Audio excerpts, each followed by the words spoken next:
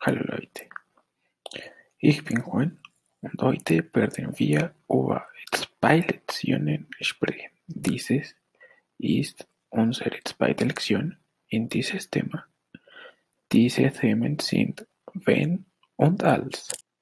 Wenn und als sind Konjunktionen, die verwendet werden. Und wenn über Zeit gesprochen wird bei Anlässen der gewährten Zukunft. Als und wenn werden nur in, innerhalb eines untergehenden Nebensatzes.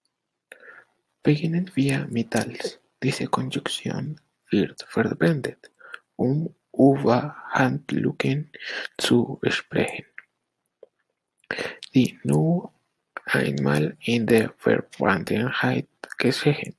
Hier haben wir Beispiele. Als ich nach Hause kam, war niemand da.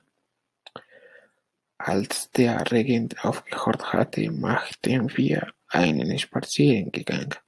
Als Kind mochten sie Eiscreme.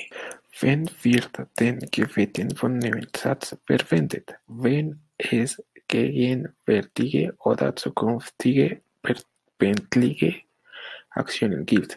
Seine Struktur ist mit immer wenn Indikativ und verwendet die Verben. Jetzt, jetzt ein paar Beispiele. Wenn Sie kommen, werden wir zu Abendessen. Wenn Sie fertig sind, gehen wir ins Kino. Wenn Sie Ihre Hausaufgaben gemacht haben, können Sie Videospiele spielen.